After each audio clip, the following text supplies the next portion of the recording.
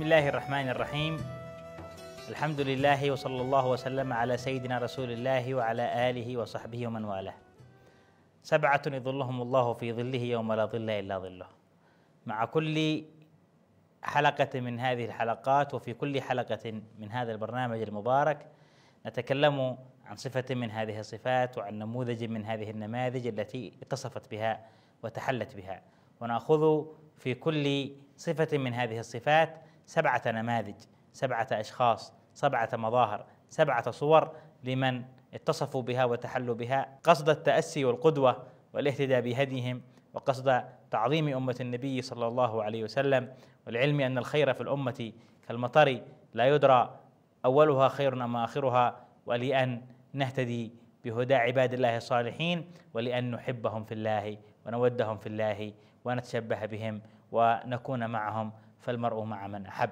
ومع من ودى ومع, ومع من تعلق به قلبه. صفة من الصفات العظيمة التي نبهنا عليها رسول الله صلى الله عليه وسلم ودلنا عليها موجبة للاستظلال بظل العرش الكريم وهي ما أشار إليها بقوله وشاب نشأ في طاعة الله وفي لفظ وشاب نشأ في عبادة الله من نشأته وهو مستقيما في الإقبال على ربه جل وعلا. مرت به مرحلة الشباب ولم يلتفت يمنة ويسرة إلى ملهيات الدنيا وغرورها وزورها كما يقع فيه كثير من الخلق بل حافظ على شبابه ووقته وعمره فلم يفنيه إلا فيما يرضي ربه جل وعلا. ونموذجنا في هذه الحلقة هو الصحابي الجليل العبد الكريم سعد بن معاذ بن النعمان الأنصاري الأوسي رضي الله عنه وأرضاه. أمه تسمى كبشة بن رافع صحابية أيضا. أسلم سعد بن معاذ. شابا دخل في الإسلام. نشأ في طاعة الله سبحانه وتعالى.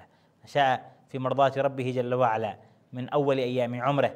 فلما أن أسلم على يد مصعب بن عمير لما أرسله النبي صلى الله عليه وسلم إلى المدينة يعلم الإسلام قال سعد لبني الأشهل كلام رجالكم ونسائكم علي حرام حتى تسلموا. أي لقبيلته كلها. فأسلموا فكان من أعظم الناس بركة في الإسلام. شهد مع النبي صلى الله عليه وسلم بدرا وأحد والخندق ومشاهد كثيرة في الإسلام. وله في الإسلام مواقف مشهورة. لو لم يكن لسعد بن معاذ إلا موقف يوم بدر. وما أدراك ما موقف يوم بدر؟ يوم أن جمع النبي الصحابة قال أشيروا علي أيها الناس فتكلم عمر فأحسن. وتكلم أبو بكر أبو بكر قبله فأحسن. تكلم بعده من المهاجرين من تكلم فأحسن. والنبي يقول أشيروا علي أيها الناس وهو يريد الأنصار فإنهم عدد الناس وأكثر الحاضرين معه وكان بينه وبينهم عهد أن لا ينصروه إلا في أرضهم وبلادهم وديارهم ما دام فيها يحمونه مما يحمون منه أنفسهم وأهليهم. فقال سعد بن معاذ هذا الذي نشأ في طاعة الله لعلك تعنينا معشر الأنصار يا رسول الله. قال نعم. فقال له قد آمنا بك وصدقناك وشهدنا أن ما جئت به هو الحق وأعطيناك مواثيقنا على السمع والطاعة. فامضي بنا يا رسول الله حيث أردت فنحن معك. فوالذي بعثك بالحق نبيا واختارك بالرسالة نجيا. لو استعرضت بنا هذا البحر فخطه لخضناه معك. ما تخلف منا رجل واحد. وما نكره أن تلقى بنا عدونا. غدا. وإنا لصبر عند الحرب صدق عند اللقاء. لعل الله يريك منا ما تقر به عينك. قال راوي الحديث فسر وجه رسول الله واستنار حتى كأن وجهه قطعة قمر. فرح من سعد بن معاذ رضي الله عنه وأرضاه. موقف لن ينساه له التاريخ. عظيم من شاب عظيم نشأ على طاعة الله سبحانه وتعالى. أصيب سعد بن معاذ يوم الخندق بسهم وسال منه الدم ثم انقطع الدم وكان قد دعا الله تعالى أن لا يميته حتى يشفي غيظه مما فعله اليهود بني قريظة.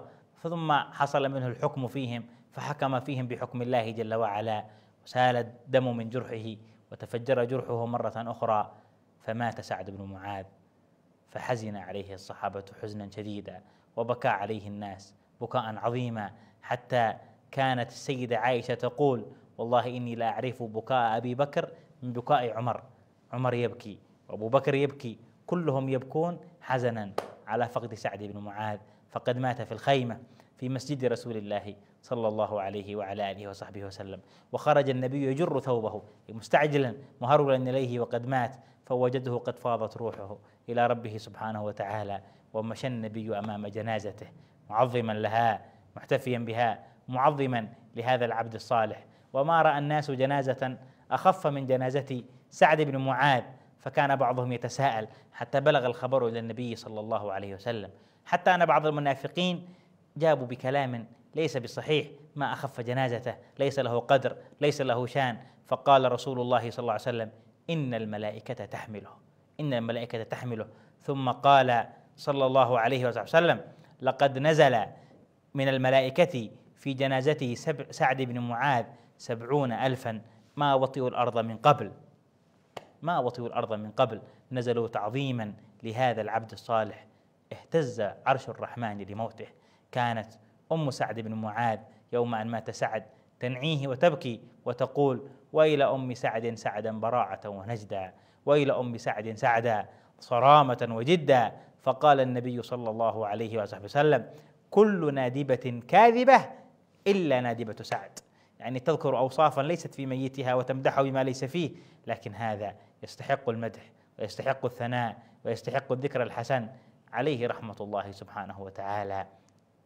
سماه النبي سيد القوم وأمرهم أن يقوموا له وقال لهم قوموا إلى سيدكم شاب نشأ في طاعة الله سبحانه وتعالى. يا شباب المسلمين شرفنا وعزتنا في الثبات على نصرة الله سبحانه وتعالى وتسليم القياد والزمام لرسول الله صلى الله عليه وسلم وأن نقول له آمنا بك وصدقناك وشهدنا أن ما جئت به هو الحق فامضي بنا حيث أمرك الله.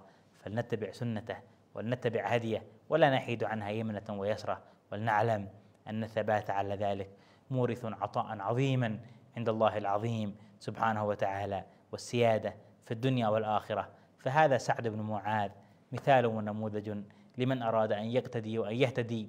جمعنا الله وإياكم في ظل عرشه الكريم مع سعد بن معاذ ومع السابقين الأولين المهاجرين والأنصار.